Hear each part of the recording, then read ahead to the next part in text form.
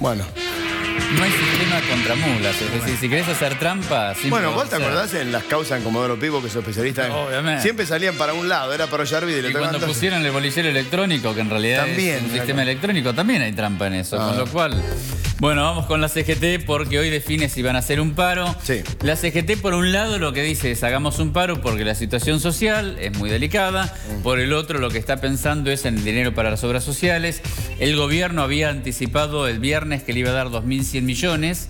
Finalmente le circuló nada más que 500. Dice, bueno, ¿y dónde está el dinero? Tiene y afloje. Y ahí es un tire y afloje, vamos a ver. La fecha del 29 es una alternativa. El cordobazo es muy duro. El cordobazo se hizo contra Onganía, no se hizo contra un gobierno democrático. 1968, ¿no? A ver, muchachos, el cordobazo se hizo contra un gobierno militar. Esto no es un gobierno militar.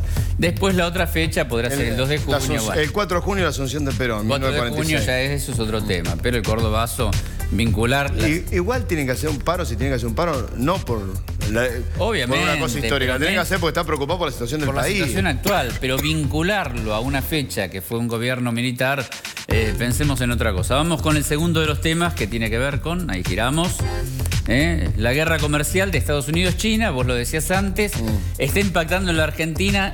Básicamente, a ver, la soja sí impacta. Hoy los títulos de diarios dice Argentina puede perder entre mil y tres mil 3.000. millones de dólares.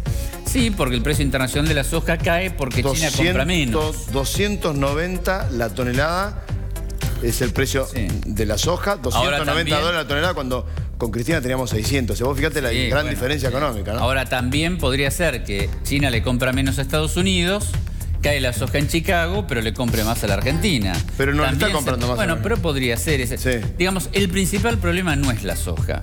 El, el el problema más visible es la soja.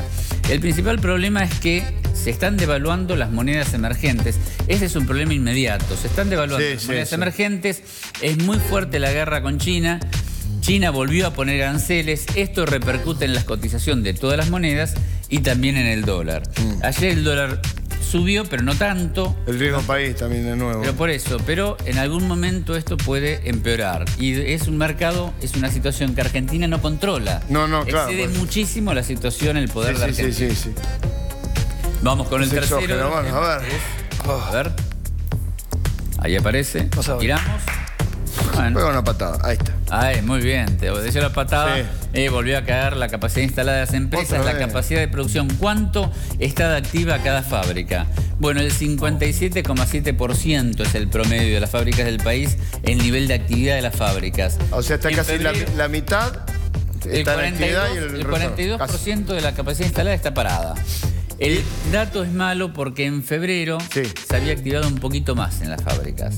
Había un poquito más de Bueno, movimiento. eh, lo que pasa es que con una suba del dólar, ¿viste? Cuando sube el dólar acá es como que todo se paraliza, ¿no? Entonces En se volvió a paralizar. El año pasado era 66, 58 y pico en febrero.